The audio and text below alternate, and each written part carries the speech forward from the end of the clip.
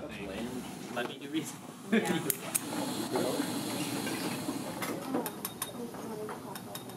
Yes.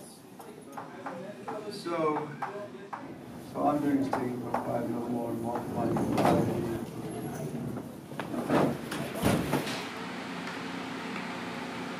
That's so stable. Yeah. Oh yeah, look at that. That's a detail we can let them know about, dude. I left it last. And then try to. And then I fixed it and I got to another maximum with this one.